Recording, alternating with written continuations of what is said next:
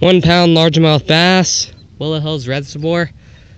11 fish of the day on a Cinco.